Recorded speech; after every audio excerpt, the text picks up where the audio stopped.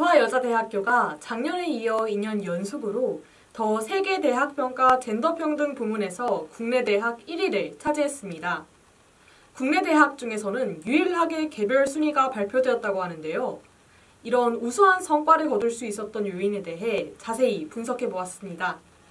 송채은 기자가 보도합니다. 지난달 26일 더 세계대학 평가는 2021년 부문별 세계대학 영향력 순위를 발표했습니다.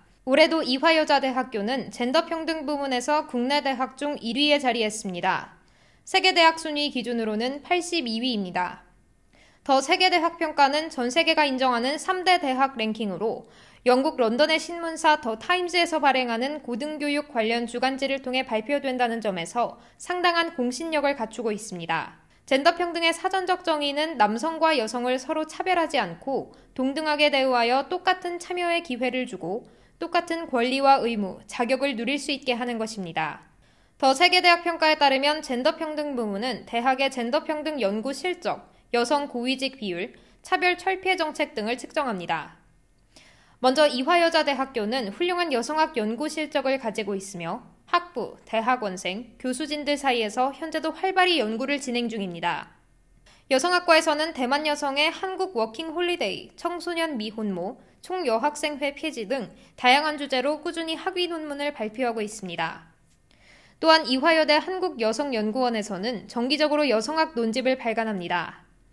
여성주의와 관련된 학술 연구 논문, 최근 발간된 간행물에 대한 서평 및 연구 보고서에 대한 내용을 담고 있으며 우수한 논문을 발굴하기 위한 노력을 찾아볼 수 있습니다. 더 나아가 학부생을 대상으로 열리는 여성학 관련 강의는 매 학기 큰 인기를 얻고 있습니다. 우수한 교내 여성 고위직 비율도 젠더 평등의 앞장서는 중요한 가치로 인정받았습니다.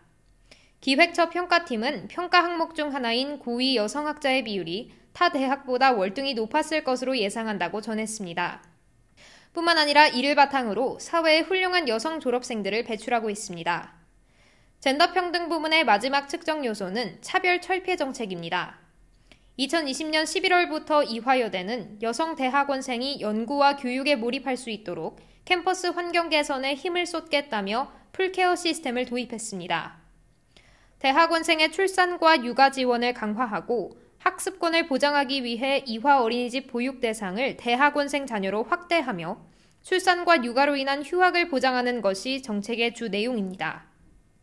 기획서 평가팀은 헌장의 차별금지 조항, 인권센터 규정 제2조 제1항, 사무직원 복무 규정의 모성보호 휴가, 청원 특별 휴가, 가족 돌봄 휴가, 모성 보호 및 일가정 양립 지원을 평가기관에 제출했다고 밝혔습니다.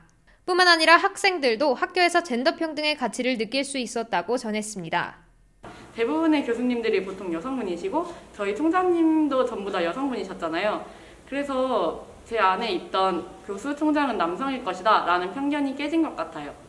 젠더 평등 사회의 구현을 위한 기여를 인정받은 이화여자대학교가 앞으로 어떤 방식으로 지속적인 젠더 평등 가치를 실현해 나갈 것인지 많은 이들의 관심이 모아지고 있습니다.